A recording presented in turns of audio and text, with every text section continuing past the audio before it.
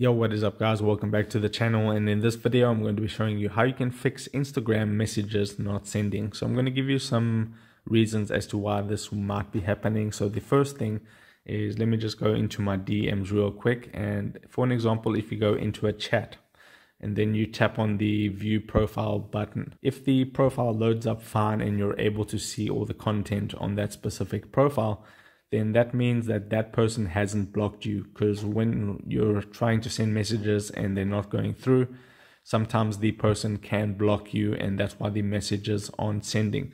So if you're not blocked and you're still not able to send messages what you need to do is you need to check your internet connection. So what you can do is you can scroll on instagram and just see how long it takes to load up things.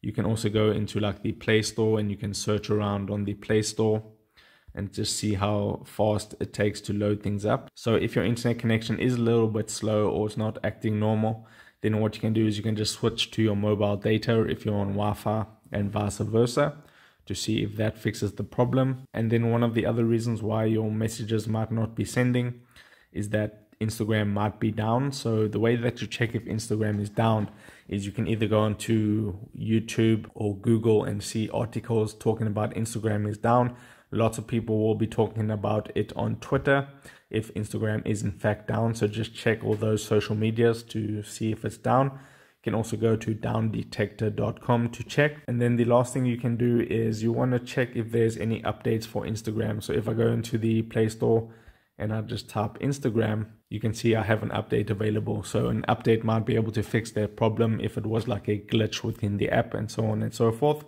And then the last and final thing that you can try and do is to restart your phone. So just press the power button or however you restart your phone, press restart and see if that fixes the problem. So I hope this helped you out. If it did, don't forget to drop a like onto this video and subscribe for more.